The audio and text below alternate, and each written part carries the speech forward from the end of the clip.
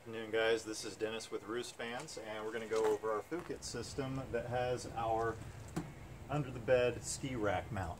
Uh, this is for our Harding build that we've been going over and this is a system that bolts into our Fukit bed panels and it allows you to store your skis up and out of the way as well as your poles and wouldn't you know it the poles have to 69 underneath our Fukit and they get strapped in as such, as well as the skis as such as well. You can store two sets of skis and two sets of poles underneath our bed system, up and out of the way. Come visit roostvans.com. Oops.